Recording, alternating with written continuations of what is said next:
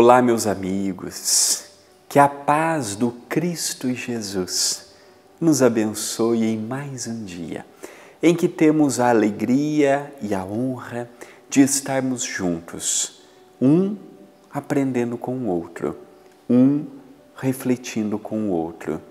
Vamos ouvindo uma informação aqui, vamos trazendo uma história a colar e vamos colocando em prática no nosso dia a dia. Sejam todos muito bem-vindos ao Pão Nosso de Cada Dia comigo, André Luiz Querini Vilar. E que a mensagem de hoje, preparada com tanto amor e com tanto carinho, possa chegar a você, fomentando paz e união. A frase de hoje está em Pedro: Sujeitai-vos, pois, a toda ordenação humana, por amor do Senhor. Primeira Epístola de Pedro, primeira carta de Pedro, capítulo 2, versículo 13.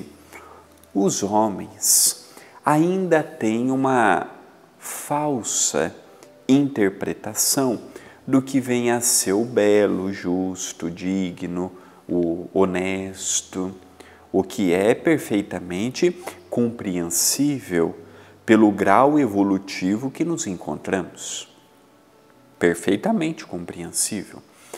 Porém, na condição de cristãos, já não podemos mais chocar como chocávamos há pouco tempo atrás, quando éramos caluniados, difamados, perseguidos. Lembremos do próprio Jesus. Jesus, por onde ele ia, uma multidão estava ao seu lado ansiosos por uma palavra, por um olhar, simplesmente para tocar na orla de sua túnica, como diz o Evangelho.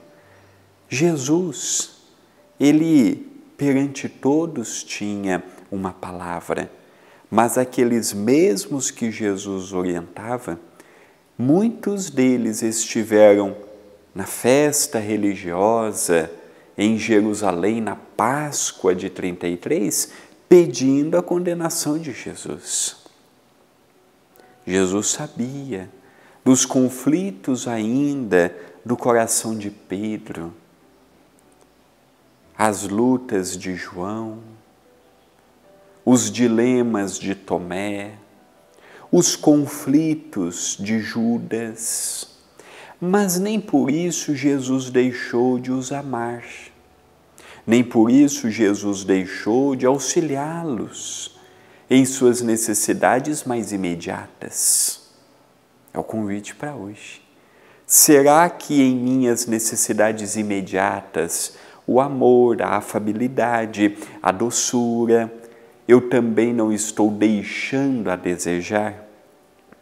Eu também não estou deixando de colaborar, seja pela preguiça, seja porque eu me senti ofendido, seja porque eu me senti traído. Será que não é o momento de nós deixarmos os ses de lado, os sentimentos que estão contrários à lei de amor? E mergulharmos definitivamente nesta oportunidade que estamos tendo? Esta é uma mensagem de reflexão. Pensemos nisto, mas pensemos agora.